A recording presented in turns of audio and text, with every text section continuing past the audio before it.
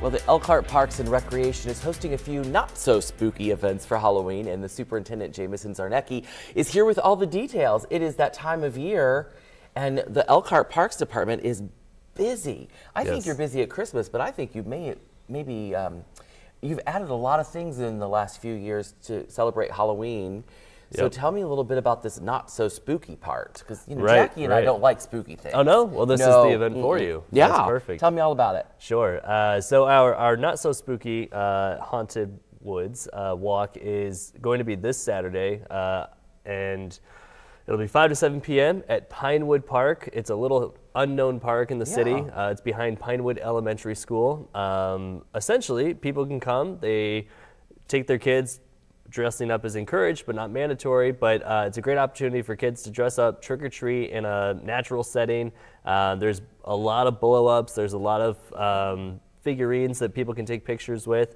Uh, we have community partners. Uh, we always partner with the Elkhart Fire and Elkhart Police Departments, and um, it's their you know, some people have their favorite events, and I, I really think this is one of theirs because they do it really big. Do they dress Um, up? They do, yes. I mean, other Uh, than like policemen and firemen. Oh, I don't know about everybody. I know there's a mixture of both. So, Okay. um, but it's it's a lot of fun. I mean, it's it's an easy walk. I think the whole thing takes 10, 15 minutes maybe to walk through.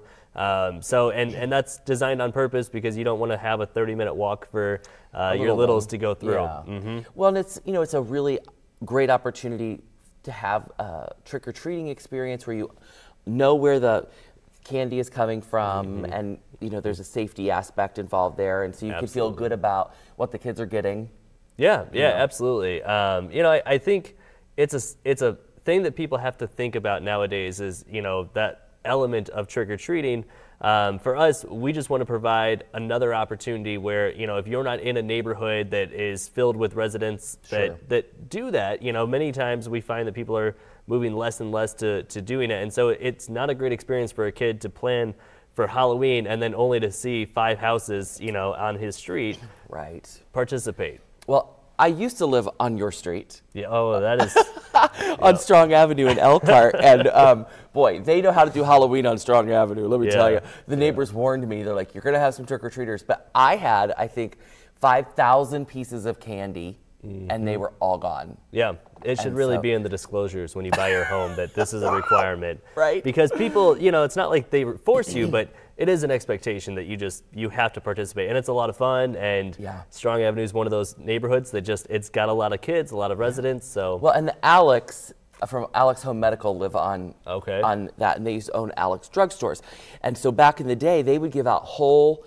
full size Hershey bars, and that's where the lore of Strong Avenue came. So that's I think that they're in Florida right. now, but um, that's an amazing, uh, that's an amazing treat. yeah, that was the so house to be It at. was. So, so yeah. yeah. for all of those Strong Avenue residents, you know you you're stuck at home or you've got to be gone before trick or treating starts. right. But so what else is going on? Oh, Hocus Pocus two. Yes, You're actually, a- like a Hocus drive- Pocus one. Oh, yes, yeah, oh. that was that was my mistake when I told the producers uh, I accidentally put to- two. So Oh, I was also excited, but then Yeah. my team had to tell me we're actually doing Hocus Pocus one, and I said Which that makes more sense because Hocus Pocus two sounded like that was a lot of money we didn't have. So Yeah. uh, but Hocus Pocus one, it's an outdoor movie theater experience. It is still going to be a lot of fun. Uh, people can drive in like they did back in the you know 70s and 80s when.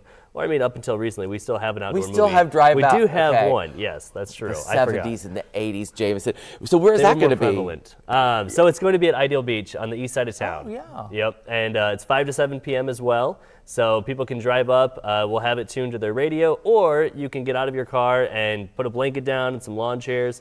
Bring your own snacks. We'll have concessions, but um, you know half the fun is getting to bring your own snacks for, for a lot less money than you pay for at the movie you can't do that at the real movies. yeah. But yeah. you can here. And that Ideal Beach is one of the hidden gems of Mm-hmm. the Elkhart Parks Department, I think. Yeah, well, we've got big plans for that too. So I'm excited to, to bring that to you at some point and, and share that out. But um, yeah, the, the outdoor movie experience is a lot of fun. Uh, highly encouraged. It's free. There's no cost. So um, you know, a lot of our events are, are things trying you're to doing be in. Elkhart. So, and then when is real trick or treating? Do you know? Uh, that will be, I believe, October 31st. on uh, Halloween. on Halloween that Go big or Monday. go home. So yes, Monday trick or treating. Well, As always, you're doing a great job, and there's a lot very of opportunities for families to participate in a lot of things for free in Elkhart. Um, ElkhartIndiana.org will get you all the information. You can also find the Elkhart Parks and Rec on Facebook. So check out those two sites for more information, and you can kind of plan your fall around Jamison's schedule, which sounds like a good plan to me. Halloween happenings in Elkhart, love it.